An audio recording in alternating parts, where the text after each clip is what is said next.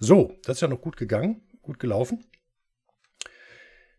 Ich muss mich übrigens auch, ist vielleicht dem einen oder anderen aufgefallen, auch an die neuen Kopfhörer gewöhnen, die ich jetzt hier auf habe. Keine Sorge, ich mache keine Werbung. Ne? Außerdem waren die so billig, da kann man am besten Willen keine Werbung für, für machen. Aber, ja, ich sag mal, also ähm, Kopfhörer, also nicht nur bei Amazon gucken. Ne? Äh, wenn man sich da welche äh, zulegen will, sondern äh, auch mal auf äh, äh, den Seiten von, von ähm, äh, ja, Online-Händlern aus dem Musikbereich.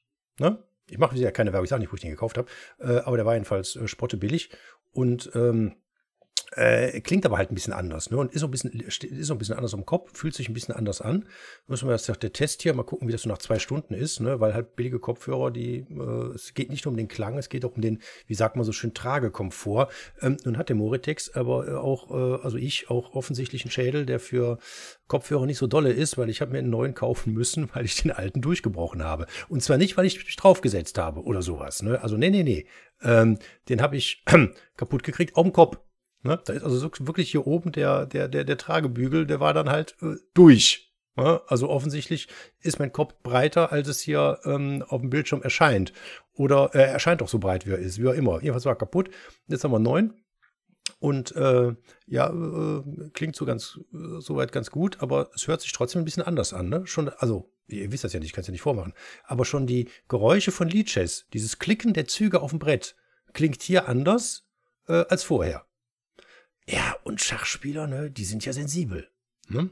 Die, die merken ja jeden Unterschied. Ne? Also Schachspieler sind ja Prinzessin auf der Erbse. Ne? Also, wer das Märchen nicht kennt, lesen, dann wisst ihr, was ich meine. Ne? Ja, also das ist jetzt hier Moritex auf der Erbse und äh, mit, mit dem neuen Kopfhörer äh, auf, der, äh, auf, auf, dem Schädel. Wollen wir mal gucken. Ne?